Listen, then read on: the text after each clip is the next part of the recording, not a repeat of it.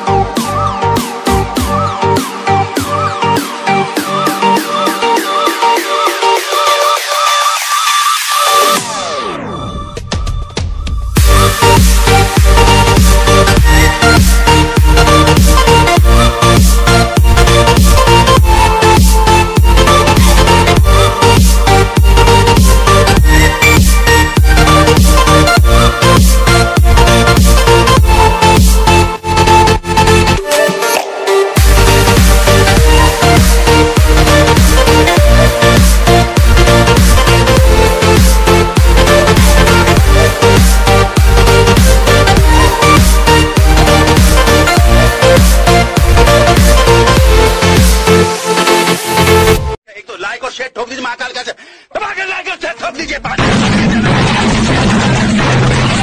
पूरा साल मेहनत करता हूँ आपके लिए बेटा।